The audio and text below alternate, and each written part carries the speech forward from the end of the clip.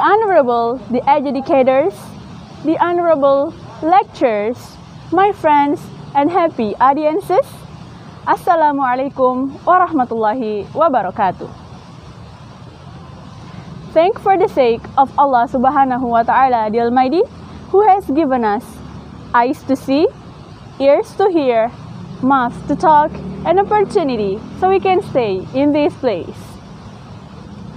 Don't forget to deliver our salawat and salam to our Prophet Muhammad sallallahu alaihi wasallam who has brought us from the darkness to the lightness. Well, let me tell you about myself.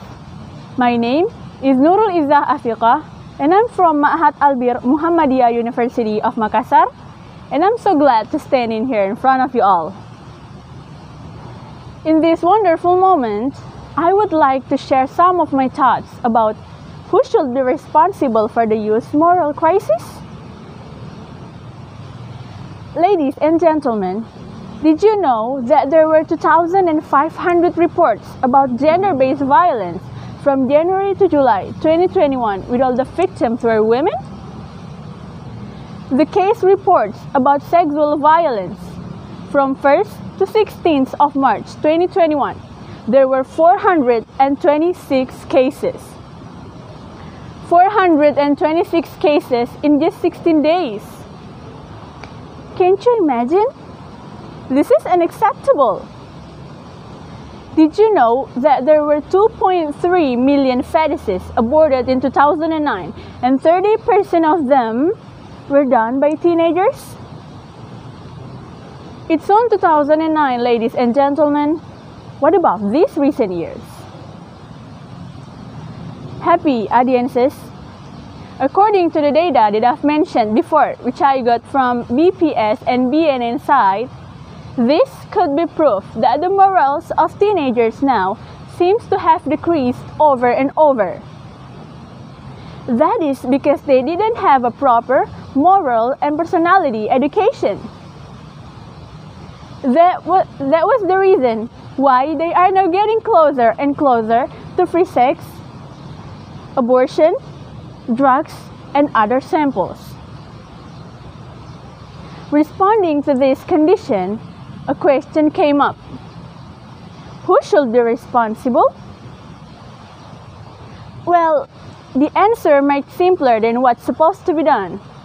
But in my opinion, those who are should be responsible are the parents the teachers, and the government.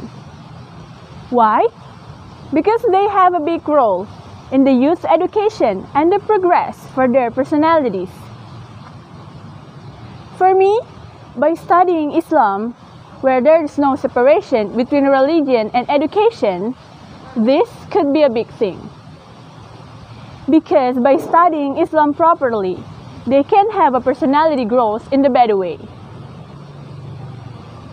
happy audiences. As set with the state, applicable rules and laws must be able to provide prevention and punishment to teenagers who are crossing the line. As the young generation would later be the future of the society, they are now prepared to be the agent of change.